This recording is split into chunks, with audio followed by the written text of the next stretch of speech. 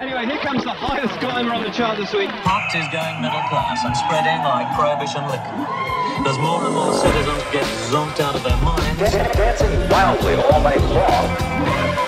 like it or not, we're living in the stone age.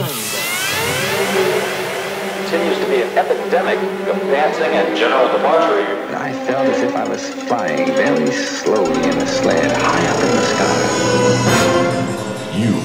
are the alien. If you feel as if you were melting, dissolving, exploding, going crazy, etc., go ahead.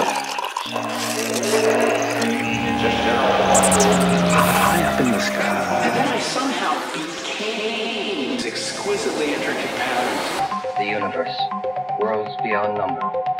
God's silver tapestry spread across the night. And in that moment, I knew the answer to the riddle of the infinite.